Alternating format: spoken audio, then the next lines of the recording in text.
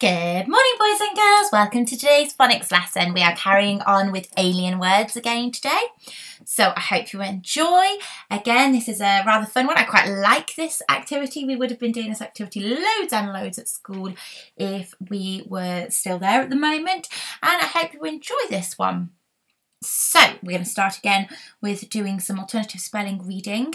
Uh, today we're looking at ooh, okay, ooh and it's a bit tricky this one is you've got variations on ooh you've got almost like a u like a split digraph u as well in there. So just be careful it is a trickier one.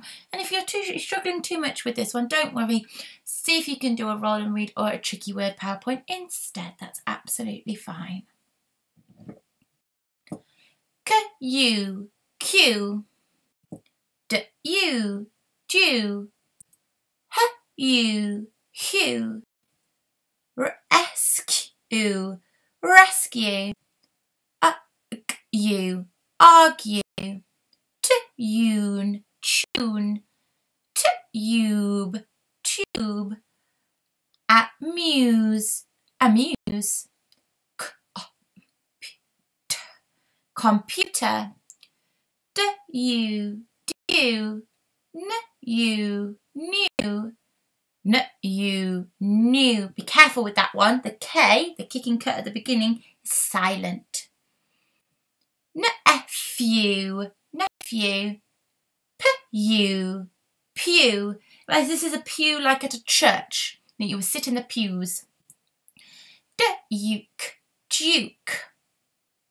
So, today I think you'll like this one. Today I need you to give my aliens some names. I've got several different aliens and I'm really struggling to come up with some names for them.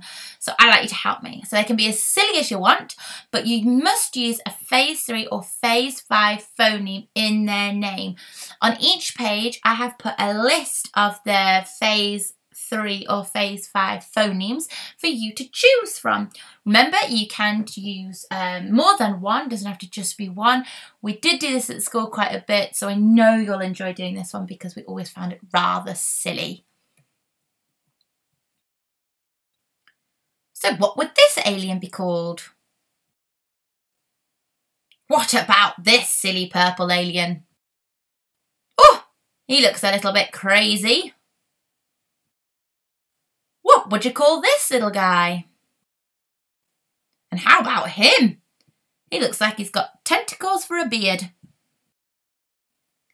And this? Who would, what would you call this one? I rather like his underpants. Oh, what about this guy? What would we call him? Oh, she's very tall. What would we call her? What about this one? Looks like he's coming through the clouds. What would this alien be called? See if you can write them and send them back to me on a PDF. Remember, it's a silly lesson. You're more than welcome to be as silly as you want. Hope you enjoy.